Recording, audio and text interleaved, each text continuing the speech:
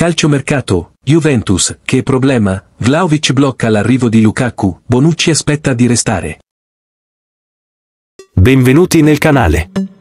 E se ami la Juventus e vuoi rimanere ben informato sulla Juve, iscriviti al canale e clicca il campanello in modo da non perderti nulla. Ne vendi uno, compri l'altro, scambi l'altro. Sembra sempre molto semplice. Eppure, spesso, nel mercato semplice non c'è niente. Prendiamo la Juventus, ha detto a Leonardo Bonucci la sua intenzione di rinunciare e avrebbe fatto lo stesso con Dusan Vlaovic, ovviamente in condizioni molto diverse, ma al momento è bloccato in una sorta di limbo. Parafrasando una frase famosa di Aldo, Giovanni e Giacomo, non può scendere o salire. Cioè, in sostanza, non può commercializzare.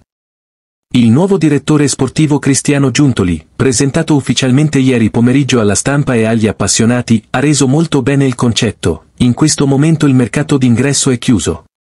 Questo non significa che sarà per un altro mese e mezzo, significa che per l'arrivo di Timothy Wea per avere una sequela, devono verificarsi determinate condizioni. La vendita dei licenziamenti è appena rientrata dai prestiti in Premier League, per esempio, MC Kenye, Zaccaria e Arthur, quest'ultimo in procinto di trasferirsi in Fiorentina. E poi ci sono Vlaovic e Bonucci. Un attaccante per cui la Juve ha venduto solo un anno e mezzo fa è un campione europeo in titolo tradito dall'età. Per quanto riguarda Vlaovic, Giuntoli ha cercato di blefare, stiamo scommettendo molto su di lui. Potremmo pensare di venderlo solo di fronte a un'offerta essenziale. Ma non è un mistero che egli è la pietra angolare di un particolare mercato, per risparmiare, senza i soldi della Champions League e le fatture da mettere in pratica.